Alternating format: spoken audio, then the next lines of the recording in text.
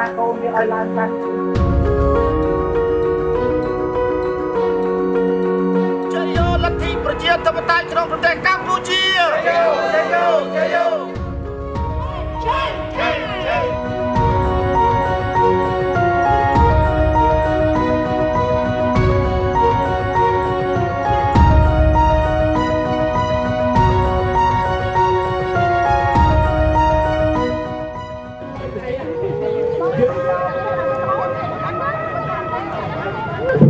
បាទមានអង់គ្លេសទេណាបាទមានអង់គ្លេសអត់រូបអត់រូប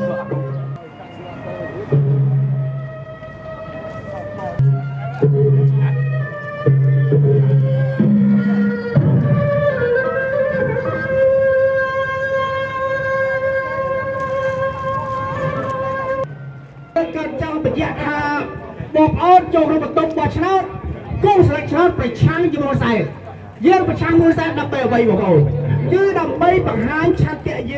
ើងបាទ យើងចូលដល់ពិធីរបស់យើងដល់ពិធីជំនឿសាសនាបាទ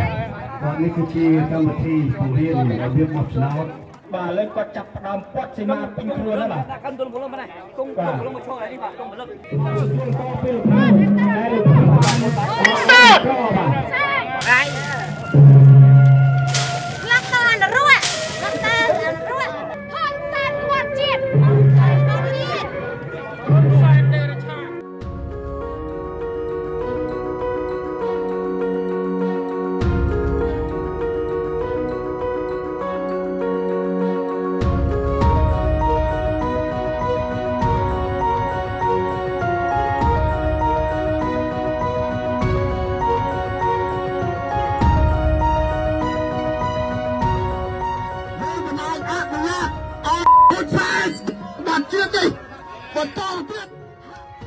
មិនត្រូវការរបបពុករលួយ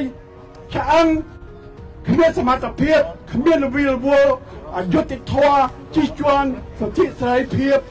គ្រប់បែបគ្រប់យ៉ាងយ៉ាងដែលធ្វើឲ្យយើងទៅជាជនជាតិមួយដែលខ្សត់បំខ្សោយបំផុតដែលអន់ថោកទាបបំផុតដែលគេមើងងាយរបស់យើងទាំងអស់គ្នានៅទីនេះគឺច្បាស់អត់មានអីច្បាស់ជានឹងតទៅទៀតទេ តើអ្នកណាជាអ្នកសម្រាប់ប្រជាធិបតេយ្យនៅកម្ពុជាអ្នកណាអ្នកសម្រាប់ប្រជាធិបតេយ្យនៅកម្ពុជាអ្នកណាជាអ្នកសម្រាប់ប្រជាធិបតេយ្យនៅកម្ពុជា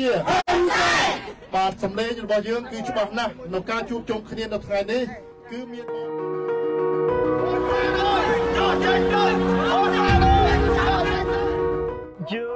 មិនរំពឹងហើយយើងក៏មិនសង្ឃឹមថានឹងមានការរីកចម្រើនដែរពីព្រោះបើយើងឃើញជាក់ស្ដែងក្រោមការបោះឆ្នោតដែលអឺធ្វើឡើងមកគ្រប់កិច្ចនេះធ្វើឲ្យខាងអឺសហរដ្ឋអាមេរិកបានផ្ដាច់នៅជំនួយផ្ដាច់នៅប្រព័ន្ធ GSP ហើយខាងសហគមន៍អឺរ៉ុបគេនឹងប្រមានយើងផងដែរថាគេនឹងផ្ដាច់នៅប្រព័ន្ធអនុគ្រោះពន្ធ EBA តែម្ដងហើយជាក់ស្ដែងយើងឃើញថាបច្ចុប្បន្ននេះគឺរោងចក្រនៅក្នុងប្រទេសកម្ពុជានឹងបានបិទទ្វារជាបណ្ដាបណ្ដាហើយដូច្នេះយើងមិនសង្ឃឹមឡើយថាលោកហ៊ុនម៉ាណែតអាចឡើងមកហើយអាចស្ដារនៅសេដ្ឋកិច្ចប្រទេសកម្ពុជាបានបាទគឺអត់សង្ឃឹមទេបាទ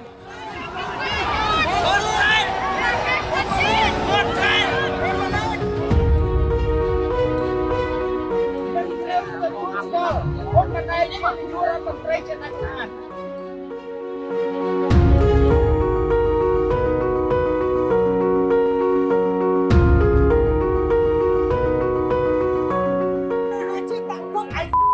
ហ៊ីមគៀមកពីកាលីហ្វ័រញ៉ាអឺអ៊ំអ្វីជាបំណងសំខាន់នៅក្នុងធ្វើបាតកម្មនេះម្ដងបដកម្មរបស់ខ្ញុំថ្ងៃនេះគឺប្រឆាំងនឹងហ៊ុនម៉ាណែតដែលប្រជាជនយើងមិនមែនបោះឆ្នោតឲ្យគឺហ៊ុនសែនអ្នកចាត់តែងកូនគាត់ជារដ្ឋមន្ត្រីធ្វើហាក់បីដូចជាប្រឆាំង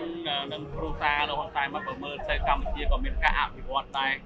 អីដែរហ្នឹងហើយត្រូវតែប្រឆាំងត្រូវតែមិនមិនមិនទទួលស្គាល់ការអភិវឌ្ឍរបស់ហ៊ុនសែនគឺខ្ចីប្រាក់គេគឺខ្មែរយើង បំណុលដល់ចៅយើងសងមិនតាន់រួចផង គឺមួយឆ្នាំឆ្នាំដើរខ្ចីលុយគេមកធ្វើហឺហាដូចមកលើកនេះអាពុកលើកមុនជួលកប៉ាល់ហោះអស់រាប់លានឥឡូវកូនទៀតមកប៉ាវអូតែរាប់លានទៀតចាសូមសំណូមពរទៅធានាគារអាក្រមលើ